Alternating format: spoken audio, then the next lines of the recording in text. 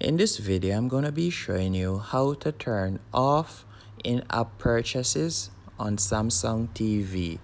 The first thing you want to do is scroll across and select settings. Once in settings, you're going to scroll down and select applications. After selecting applications, you're going to tap on App Store.